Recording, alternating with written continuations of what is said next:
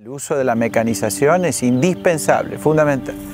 No se puede entender una fruticultura artesanal con mano de obra y hablar de una eficiencia. Hay que combinar y esta máquina cuadra sobre esa idea perfectamente. Explorando a los proveedores regionales encontramos un aliado muy fuerte en la empresa Pollets de Regina,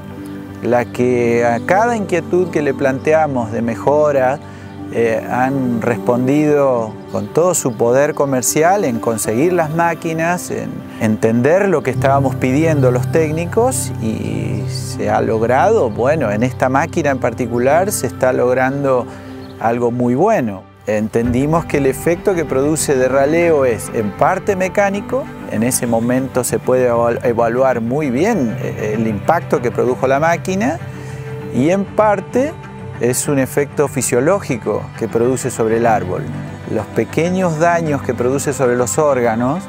que para nada van a influir en la calidad del fruto al final, porque en el momento que se está haciendo esto,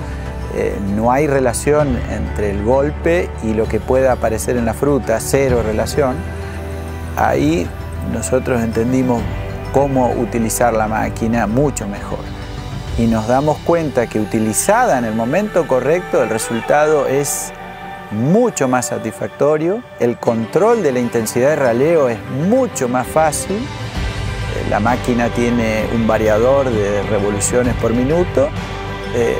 muy preciso, electrónico, no hay incertidumbre, no es una apuesta a ver si sale, es un manejo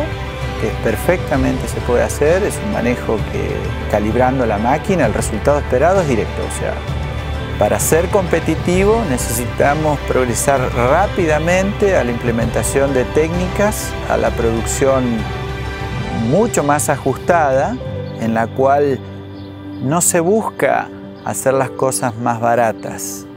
se busca llegar a un resultado comercial óptimo tenemos una creencia que viene de una fruticultura más primitiva, más antigua, que no se puede ralear en flor por el riesgo de heladas. En la nueva fruticultura, si uno no maneja variables del negocio como malla antigranizo, riegos con fertirriego tecnificado, si uno no maneja técnicas de soporte mecánico de poda, manejo de canopia, creo que no vamos a estar a la altura de una fruticultura eficiente. Los efectos que produce esta máquina sobre el cultivo son, primero, en una primera apreciación, todos entendemos que si parte de las flores van al suelo, se erradican del árbol, estaríamos regulando la carga. Pero hay un efecto que es hormonal, que es que el daño que producen estos látigos que tiene la máquina sobre el cultivo son parte del efecto de raleo que no hay que considerarlo como un daño. El efecto que produce sobre el raleo, esos pequeños latigazos y daños producen una alteración hormonal que contribuyen al raleo.